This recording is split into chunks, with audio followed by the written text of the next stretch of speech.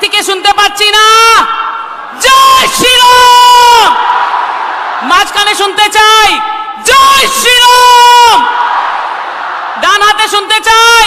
জয় শ্রীরাম! এটা আজকে আমাদের সৌভাগ্য যে আমাদের যশস্বী প্রধানমন্ত্রী নরেন্দ্র মোদীজি আজকে আমাদের মধ্যে উপস্থিত হবেন। মহিলাদের মান সম্মান এর জন্য যদি কেউ ভেবেছে? সেটা হলো আমাদের প্রধানমন্ত্রী নরেন্দ্র মোদী।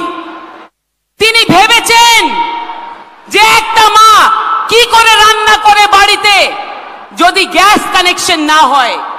তিনি ভেবেছেন যে বোনদের সুরক্ষা কীভাবে দিতে হয়?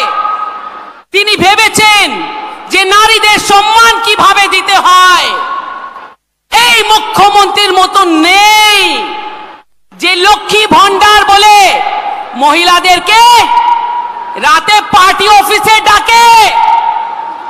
এদের নেতারে রাতে মহিলাদেরকে পার্টি অফিসে ডাকে যে, এসো, পিঠে বানাও, তারপরে পাঁচশো টাকা পাবে।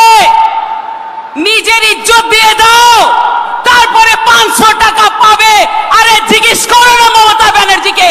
পাঠাবে নিজে বাড়ির মেয়ে বউকে পাঁচশো টাকা নেওয়ার জন্য। এই লক্ষ্মী ভান্ডার আমাদের চায় না এই লক্ষ্মী ভান্ডার আমাদের দরকার নেই আরে নারীর মান সম্মান ভারতীয় জনতা পার্টি করে গিয়ে দেখে নিন মধ্যপ্রদেশে। লাডলি বেটির নামে তিন হাজার টাকা দেওয়া হয়। এই পাঁচশো টাকার ভিক্ষা।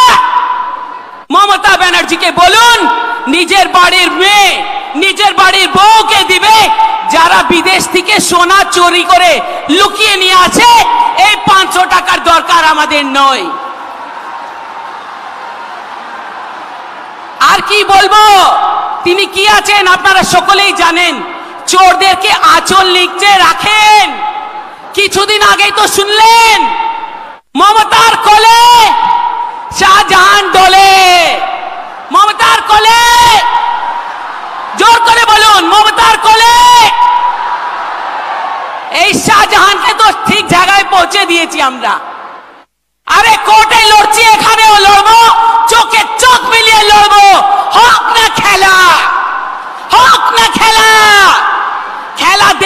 ছাড়বো পিসি তো